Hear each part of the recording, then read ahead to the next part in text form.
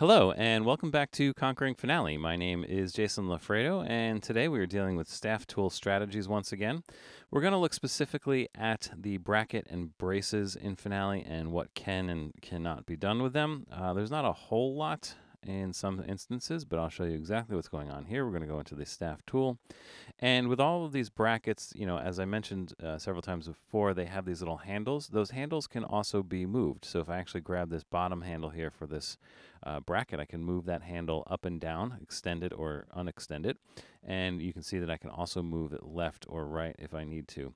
Um, when you're doing this, I always recommend using the shift key. We could do that with the top here too, because that will constrain the dragging in one direction. Uh, whichever way you move your mouse first, it will go that way and then not allow you to go the other way. Uh, so I always recommend that. And once you have these brackets moved around, we can always reset them. Just right click and choose the remove manual adjustments option and that will reset everything back to normal. Uh, both sides of it, by the way. And that's really all there is. There's nothing else we can do. We can't extend the wings or anything.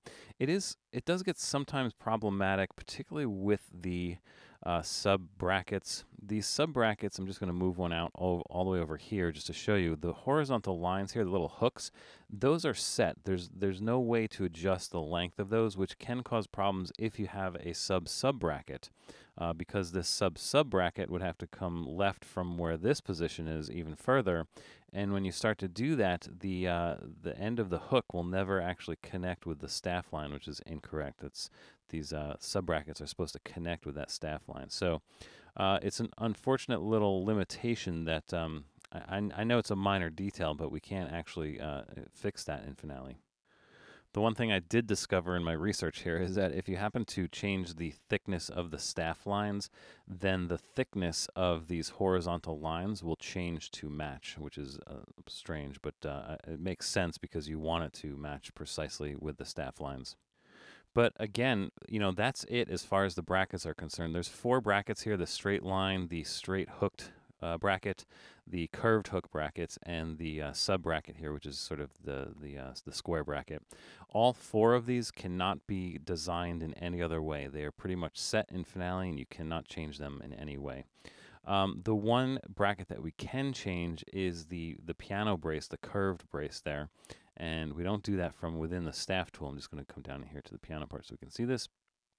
We actually do that from the document options in the uh, piano braces and brackets settings. Now it says end brackets, but the, the only setting for the brackets here is the default distance from left edge of staff, which is set to negative 0.04167 here. I've talked about this in uh, the first video on, on staff groups, so I'll, I'll, I won't talk about this today. But as you can see here in the top of this window, it looks like we have all kinds of options about designing this little squiggly brace for the piano.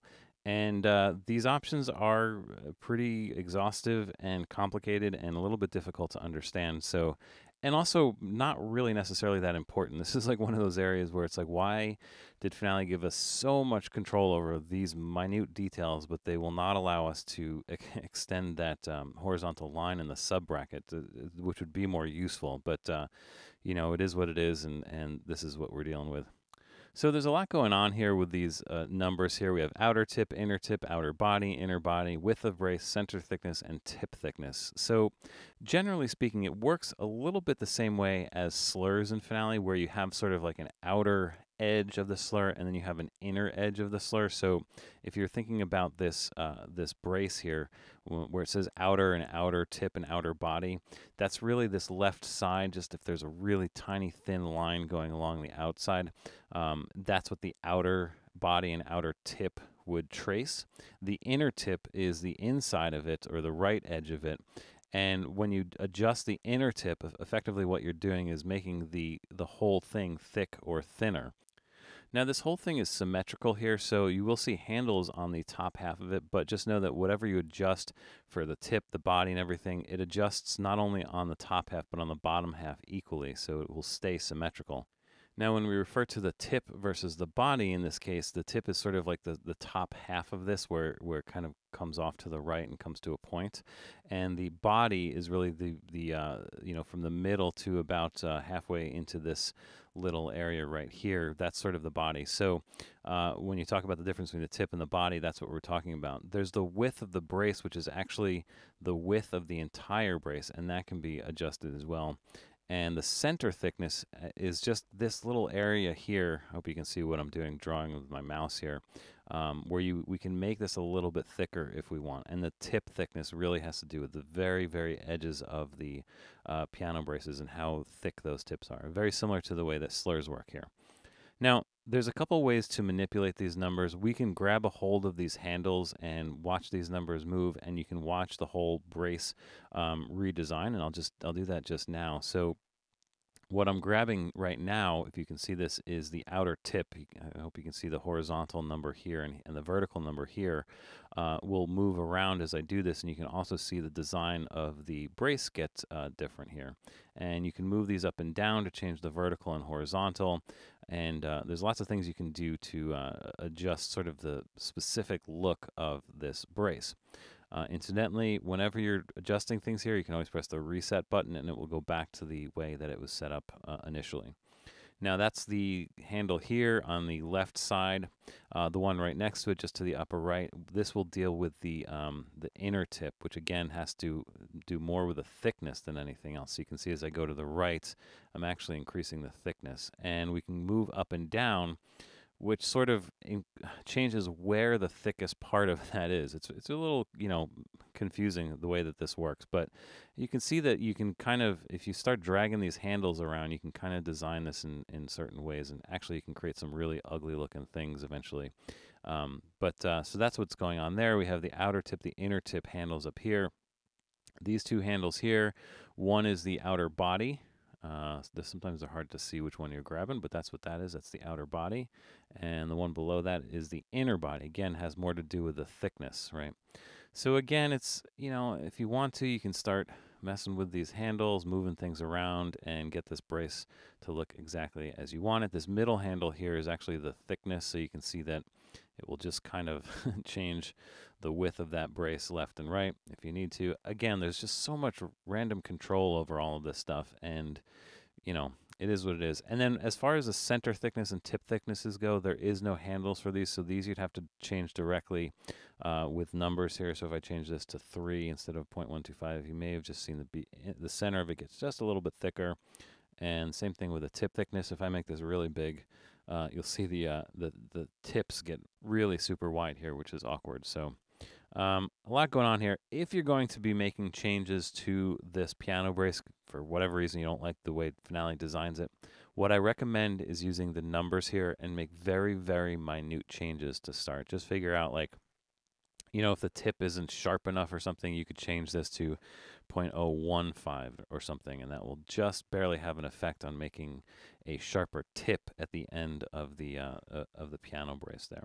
Again, it's really hard to see unless you're really zoomed in, if you're really paying attention. So um, again, so much control over all of these uh, little minute details. But for now, I'm going to go back in here. You're welcome to play with that as you want. I'm just going to reset everything so that we're back to normal. Now, sort of the, the more important problem, I guess you could say, with these piano braces is what happens when you start stretching them up and down because the, the tips of the piano braces will you know follow wherever the staff lines go. So if i start you know changing the distance between these staffs appropriately the uh, the brace will stretch out which is exactly what you want to happen and the, the name will stay centered uh, between the staffs which is exactly correct. What what's really an issue is when you start to decrease the size of the space here and you get smaller and smaller. Finale is scaling this uh, brace until it gets to a certain point. And uh, again, you would never do this, but um, as you get smaller and smaller and smaller, you see the, the design of that brace sort of starts to break down and doesn't really look anything like a brace. And in fact, if you change this all the way up to the uh, to being overlapped, again, you would never do this. This is the type of brace that you get, which is just, it's not correct. Now, it, you would never do it that way, but there may be a case where, and I'm just going to set this up, Uh, if you have decided that for some reason you want to um, hide normally for your piano groups, and also you want to show a bracket if the group contains only one staff. So in this case, it would be possible to get this type of piano brace on a single staff. And if I go in here and just hide uh, these measures, hide empty staffs, uh, you'll see that I can get a, one staff piano part here and it will retain the brace. But again, because that brace is so short, I mean, it's it's not right. I mean, this is this is definitely, you know, not a great feature of Finale in, in the way it handles these uh, braces. Again, this is a very rare instance that you would actually, first of all, hide an empty staff in a piano part, but also that you that you would actually have the uh, the brace on a single staff. It is sometimes done I will say, with organs. So if you're for some reason you need to hide the left hand of an organ, uh, but you want to have the pedal, you need to have that brace there so that you can tell the difference that the you know the right hand is on the the um, uh, on the uh, the keyboards, but the left hand is the pedal. If they were braced together, you wouldn't know that the pedal was the pedal. You would think that it was the left hand of the piano because it has the same clef and everything. So, in some some rare cases, it is possible to have to have the brace on a single staff. If you ever need to do this, first of all, don't ever. I wouldn't recommend um, choosing this option show bracket if group contains only one staff for these piano braces. Because of that problem it just when you get it down that small it doesn't look appropriate. The better way to do this is with an expression and I kind of set one up in this file already in the miscellaneous category. Here it is. I'll just show you what it is. I won't totally go through re uh, redesigning this but it is a shape and um, I use this tool over here, which is the uh, what is that called? The uh, the bracket tool, which will create a piano brace just like this. As you can see, I did that accidentally. Um, and uh, and then you have to resize it. And you know the recommendation I always have here is to make sure that you're showing the staff template so that you can see exactly how big it needs to be. Um, yada yada. Let's just cancel there. So that's discard changes. Thank you. So we get our, our regular shape back. Um, and then position this in a way where you have it now, right justified on the left bar line uh, with the staff reference line additional vertical offset to zero. This will put it um, all the way to the left of the staff. And when you assign this to the, I just put it on the pedal staff here just to uh, show you that you can do it on an empty staff. You'll get something that looks a little bit better as far as a uh, piano brace on a single staff. This is not an ideal situation because you'd have to do this on every measure where the um, the single staff that needs the brace appears at the beginning of the system. So, you know, if I you know if this manual uh, went down to one hand for you know seven or eight systems, you'd have to add seven or eight different uh, expressions uh, of this um, squiggly line um, uh, brace here. So, you know, not ideal that these uh, the piano braces don't scale appropriately. It's something that you know Finale should really look into and fix at some point. But alas, this is how it works right now, and so that's sort of the solution to it, um, as crummy as it is. So. All right, so there you go. I think that covers it with the brackets and braces. Again, there's not much you can do, but then when there is stuff you can do, it's really complicated and um, almost unnecessary. So uh, there it is. Um, and I think that covers it for groups in Finale as well. So uh, thanks for watching. Um, the next video, we're going to start looking at uh, staff names and group names. That will be the next uh, sub-series of videos coming up. So uh, looking forward to that. Once again, thanks for watching. Don't forget to subscribe. And, you know, I'll see you soon on the next video.